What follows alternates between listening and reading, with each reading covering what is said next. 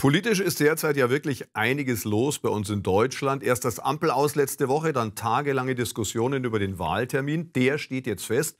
23. Februar soll es werden. Darauf hat man sich in Berlin geeinigt. Jetzt wird aber immer lauter über den Spitzenkandidaten der SPD diskutiert und zwar auch innerhalb der SPD. Ähm, vor allen Dingen hat sich der Kreisverband Bamberg klar positioniert und zwar gegen Olaf Scholz und für Boris Pistorius. Und damit stehen die Bamberger Sozialdemokraten im Kontrast zur Bayern-SPD, die sich wiederum klar hinter Olaf Scholz gestellt hat.